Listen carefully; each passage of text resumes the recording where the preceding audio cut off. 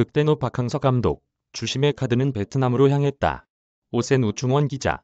베트남 박항서 감독이 크게 화가 났다. 경기외적인 상황 때문에 위기를 맞이했기 때문이다.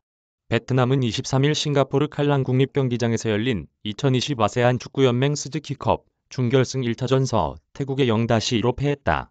이날 패배로 베트남은 큰 부담을 갖고 2차전을 펼치게 됐다. 베트남은 최악의 경기였다. 오심이 이어지면서 답답한 경기를 할 수밖에 없었다. 심판 판정은 이해하기 힘들었다. 전반 18분 양 팀 선수들의 신경전이 나왔다. 그런데 주심은 태국 벤치에 옐로카드를 선물했다. 또 전반 48분에는 태국 골키퍼 부프롬이 베트남 응우옌반 또안을 잡아챘다. 레드카드가 나와야 했지만 옐로카드에 그쳤다. 설상가상 오프사이드 판정도 나왔다.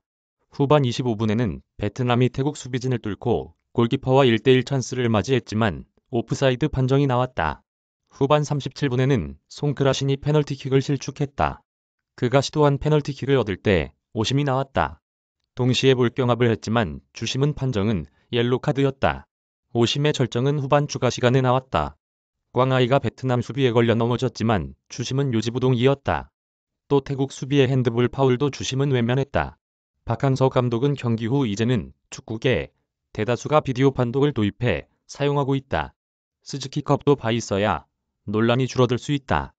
다음부터 도입했으면 한다고 말했다. 이메일 주소